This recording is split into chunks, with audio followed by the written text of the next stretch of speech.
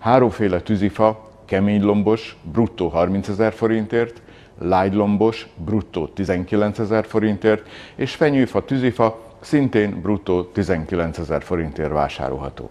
Mindenkit megnyugtatok, hogy a jó erdőgazdálkodásnak köszönhetően a fűtési időszakra elegendő tűzifa mennyiség áll az ország rendelkezésére.